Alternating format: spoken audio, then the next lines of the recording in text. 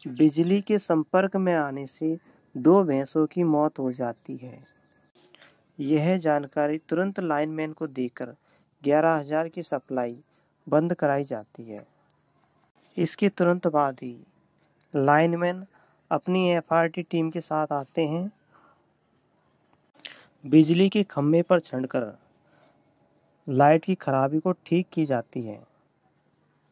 इसके बाद नज़दीकी पुलिस स्टेशन में एफआईआर दर्ज कराई जाती है और यह जानकारी समाचार पत्र में प्रकाशित सरकारी पशु चिकित्सक को बुलाकर इनका पोस्टमार्टम कराया जाता है और पोस्टमार्टम की रिपोर्ट ली जाती है। इसके बाद पुलिस अधिकारी और उच्च विद्युत विभाग अधिकारी आपके उस स्थान पर आते हैं जहाँ पर यह घटना घटित हुई। वहाँ मौके मायना करके रिपोर्ट ले जाते हैं। जो भी आवश्यक दस्तावेज़ हो, वो आप इन अधिकारियों को दे दें। फिर इसके बाद में आपको जो भी सहायता राशि उपलब्ध कराई जाएगी, वो आपको मिल जाएगी। कई दिनों बाद बिजली विभाग से आपके पास में फ़ोन आएगा और आपको बुला करके आपसे आपके आवश्यक दस्तावेज़ लेकर के आपको बीस हज़ार रुपये का चेक दिया जाएगा। दो किसानों के पशु मरे थे। दोनों को बीस बीस हज़ार रुपये का चेक यह तो बिजली विभाग की जानकारी थी।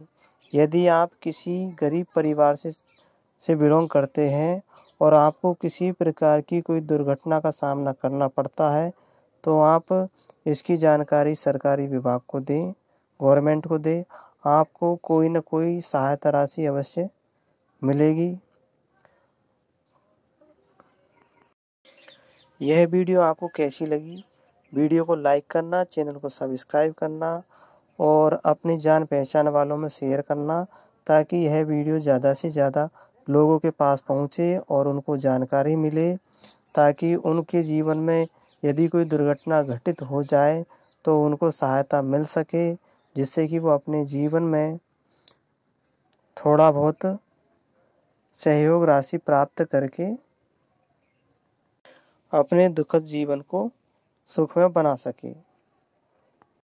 यह वीडियो आपके पास तभी आकर के पहुँचा है जब उन्होंने चैनल को सब्सक्राइब किया है और वीडियो को लाइक किया है। आप भी इस चैनल को सब्सक्राइब करेंगे और वीडियो को लाइक करेंगे, तभी यह वीडियो किसी अन्य व्यक्ति के पास में पहुंचेगा। इसलिए आपसे निवेदन है कि वीडियो को लाइक करना और चैनल को सब्सक्राइब करना। धन्यवाद।